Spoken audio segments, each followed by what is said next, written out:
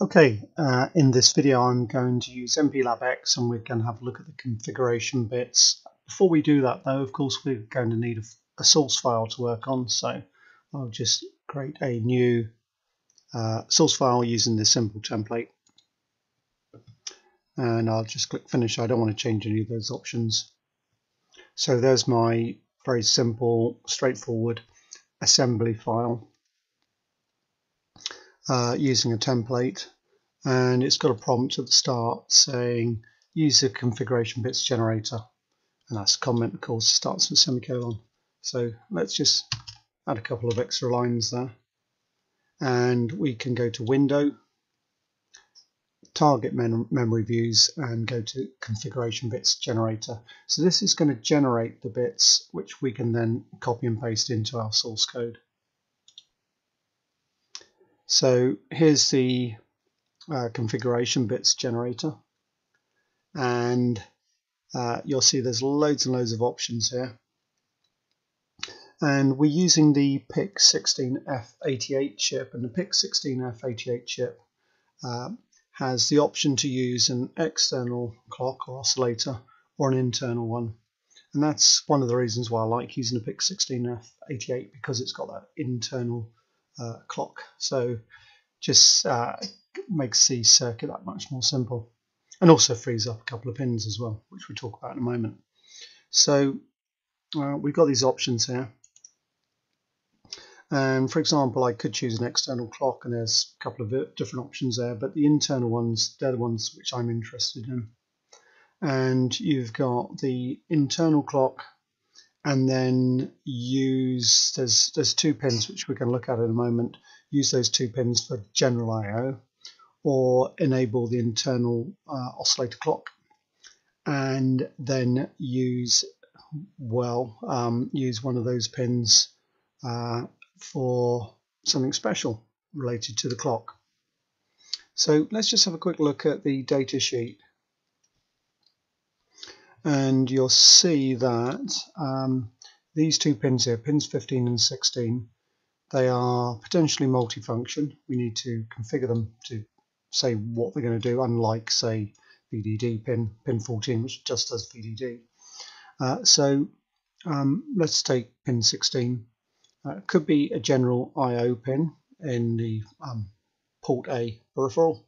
Uh, so that is uh, port A uh, RA7 or port A RA6 so we could use those for input output. But um, equally they could if we were using say an external clock be used for the clock in and the clock out. Now if we enable the internal clock there's no need to use the clock in or clock out. So you could uh, configure these uh, two uh, pins here uh, to just be used for general I.O.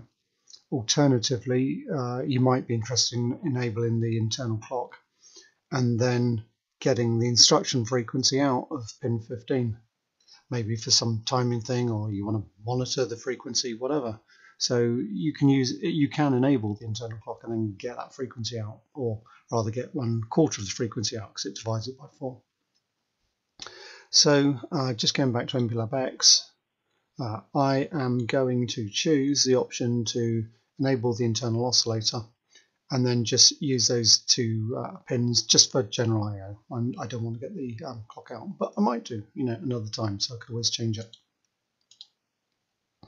Uh, watchdog timer, definitely off. Um, don't want to get into the detail of why, but unless you're doing something uh, a little bit more advanced, definitely not for beginners, leave the watchdog timer off. Uh, in fact, many of these could be left off. Um, probably the master clear enable pin, that's the reset pin, leave that one on. Um, brownouts, reset, you can leave that one on off, doesn't make any difference. Low voltage programming, uh, low voltage programming off.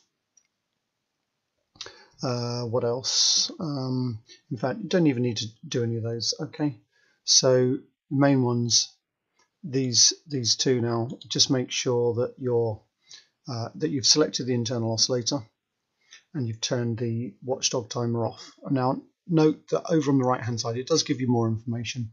It says you've selected the internal RC oscillator. And uh, because of the option you've chosen, the port IO function on both RA6 and RA7 is going to be available.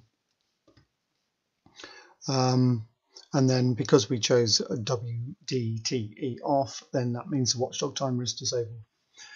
Okay, so all of this thing here is just a like the wizard settings. Doesn't actually configure program. You need to click the generate source code button, which then creates this text, which you can then copy and you can paste and that now is part of your program should be possible to uh, clean this to build it. And you see that it says build successful. If you've got anything other than build successful then something's definitely gone wrong. Okay so um, that's it for the uh, configuration bit um, editor or generator.